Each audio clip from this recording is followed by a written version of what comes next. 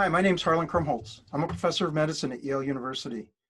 And I'm here today to talk to you about an article that was recently released by the New England Journal of Medicine that's relevant to this COVID pandemic. There's a lot of talk these days about indirect transmission.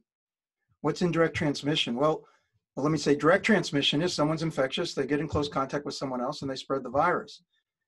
Indirect transmission is when we're not really sure where it came from. It's, it's community transmission, and we're trying recently to figure this out.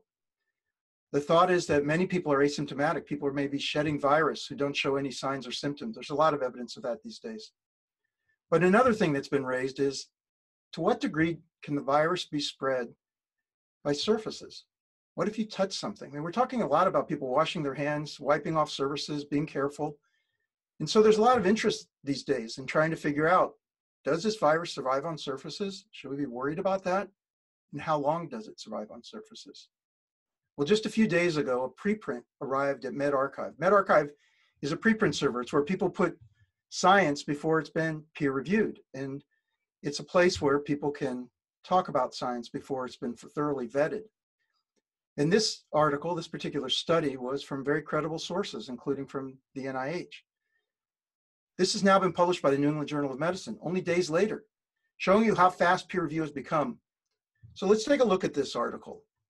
And the idea was to see whether or not they could determine whether virus deposited on surfaces could then be collected and grown in culture and shown to be able to spread that way.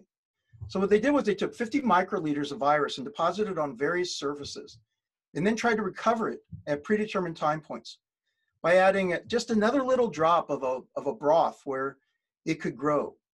And then they assessed its stability in various different media, like for example, on cardboard or polypropylene or on copper or on steel. And they ran a bunch of experiments where they sought to see whether they could grow it in these special kind of green monkey cells. That's what they do to try to determine whether or not virus is viable.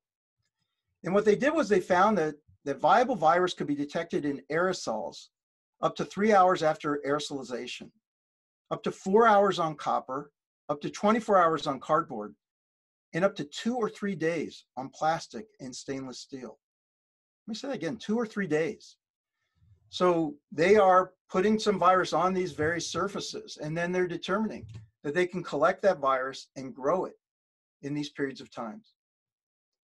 The results, they say, indicate that aerosol and fomite transmission of this virus is plausible, and they reinforce the idea that it can remain viable on these surfaces and that should inform us as we think about the transmissibility. Uh, importantly, they compared it to SARS-CoV-1, and they saw that it exhibited similar half-lives in aerosols, with a medium, as we said, around three hours, 2.7 hours, and long viability on steel and polypropylene compared with cardboard and copper. But I think the important message of this piece is that the kind of guidance that we're getting about washing hands, wiping surfaces, uh, is likely to be very good advice. And the notion that this can be spread indirectly, that someone who might have been in the gym or someone who might have been wherever you are, who was shedding virus before, can transmit it to you even if they're not around. And even if they didn't even know that they were shedding virus. This is going to put particular challenges on us, but it reinforces the, the public health messages that are coming out. So this important piece, first showing up as a preprint just a few days ago, now coming out in New England Journal of Medicine provides us important information about how we should be informing our patients, how we should be conducting ourselves, and really the transmissibility of this virus, and, and in some ways the reason that it's spreading so much and so far.